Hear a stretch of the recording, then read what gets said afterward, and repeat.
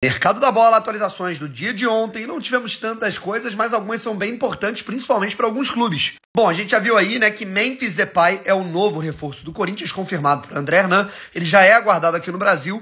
O Corinthians acertou com o atacante holandês, ex-atlético de Madrid, e não só com ele. O meio-campista Carrillo, né, que rescindiu recentemente com o clube da Arábia Saudita e que já trabalhou no Al Hilal com o Ramon Dias, da seleção peruana, é o novo reforço do timão dupla aí para tentar, né, cara, dar uma guinada no time que tá brigando para não cair. O zagueiro Bastos, angolano, tem renovação automática com o Botafogo. O contrato dele que é até o fim de 2024, com cláusula de renovação automática por número de partidas, vai até o fim de 2025. E o Botafogo já tenta negociar, né, uma renovação até mais longa do que da renovação automática até o fim de 2027 com o zagueiro. Hélio dos Anjos não é mais o treinador do Paysandu. A equipe perdeu pontos importantes nas últimas rodadas, principalmente dentro de casa, para tentar ali alcançar a parte final da tabela na Série B, e agora está ali numa situação de risco perto da zona do rebaixamento. O Paysandu ainda busca o seu novo treinador. Kurzawa foi oferecido ao São Paulo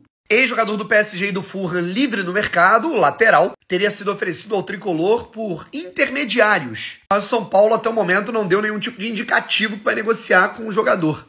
Daniel Paulista foi recentemente demitido do CRB. O time briga para não cair na segunda divisão. A expectativa esse ano era de que o CRB pudesse lutar pelo acesso. Está sendo bem diferente disso. E o novo treinador do clube é Bruno Pivetti. Boa contratação da equipe do San Lorenzo por parte de ex-jogador de La Liga. Iker Muniain, ídolo do Atlético Bilbao, está no futebol argentino. Hummels, pela primeira vez, vai jogar longe da Alemanha. Jogou no Borussia, no Bayern e agora está na Roma. O zagueiro Arthur Chaves, que se destacou no futebol intermediário de Portugal na última temporada, é o novo reforço da equipe do Hoffenheim da Alemanha. O jogador é brasileiro.